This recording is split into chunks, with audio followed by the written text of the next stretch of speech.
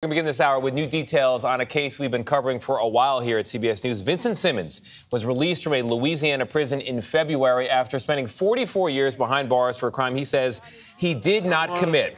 Our lead national correspondent, David Begnaud, you'll recall this, was by his side when a judge ruled he did not get a fair trial the first time.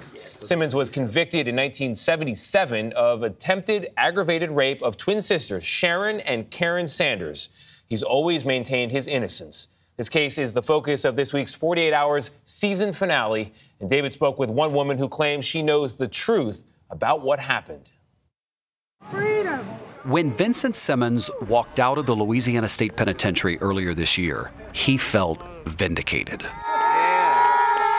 Vincent was found guilty in 1977 in Marksville, Louisiana, of two counts of attempted aggravated rape and sentenced to 100 years in prison. I was shot guilty. I ain't did none. A judge vacated his conviction after finding that Vincent did not receive a fair trial, though the judge did not make a finding as to whether or not Vincent is innocent or guilty.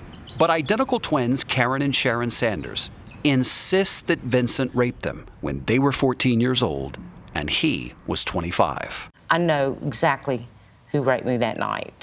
The twins say they were with their then 18 year old cousin Keith Laborde when they encountered Vincent at a gas station, and Keith agreed to give Vincent a ride. They say Vincent directed them to this road, where he forced Keith into the trunk of the car and then raped the two of them. The limitations it put on our life, like with the anxiety, it's taken a lot from us. I looked at the discovery, I was like, well, everything they said at trial's a lie. It's all a lie. Justin Bonus, Vincent Simmons' current attorney, is skeptical. He believes that the twins are lying to protect Keith Laborde. With me right now. Keith's cousin, Dana Brouillette, told a private investigator in 2020 and swore in an affidavit that Keith admitted to her that Vincent Simmons was never with them that night. He came out and told me there was never a black man. Instead, in that affidavit, Dana says that Keith told her he had consensual sex with one of the girls and locked the other in the trunk. And He locked Sharon in the trunk, and he said the sex between him and Karen was consensual. He said, but the other one was a little Hellcat. That's the one that put the scratches on his neck. In the affidavit, Dana says that Keith had scratches on his neck. She told the private investigator that she believes Keith and the twins made up the story about a black man to explain away those scratches Karen and Sharon deny that. But in a stunning admission, Karen does acknowledge having had consensual sex with Keith years before the twins say they were attacked. But that has nothing to do with what Vincent did. That's two separate incidents. I called Keith to ask him about all of this. Hello, Keith. This is David Begnaud with CBS News. Keith, now 63 years old, denied ever having sex with Karen. He said they just, quote, played around like children, end quote. And he also insisted that whatever had happened between the two of them had nothing to do with what Vincent Simmons did that night. That guilty. I don't give and yeah, he's a and you can put that on TV. I ain't scared of him.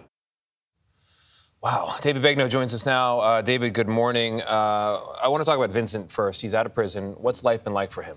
Uh, tough. You know, he's trying to get used to just the basic stuff. I mean, he's been enjoying every moment, but it's also um, been challenging. I mean, he went into prison when he was 25 years old, walked out three days before his 70th birthday. So, so much has changed since then. We were there with him in the days after his release, and he was just trying to, you know, flicker around with the remote control and, and figure out yeah. the basic automation that we've lived through using a cell phone for the first time, all things he's never experienced before. He left prison with next to nothing, just boxes of pictures, letters, legal documents that he had accumulated behind bars. So it's certainly been a big adjustment. Does Vincent plan to go back to court to seek compensation for wrongful, wrongful imprisonment? So it's interesting. His attorney says he does intend to go back to court, but under Louisiana state law, Vincent is only entitled to compensation if he can present clear and convincing evidence of his innocence. Mm. And it's important to note that when the judge vacated Vincent's conviction, he did not make a finding as to whether or not Vincent is innocent Seems or guilty. Like he really only found that Vincent, Vincent didn't receive a fair trial. Seems like they would be synonymous, those two things. Uh, you would think, but the legal distinction is yeah. clear. Mm. It's so messy and so tawdry, you know.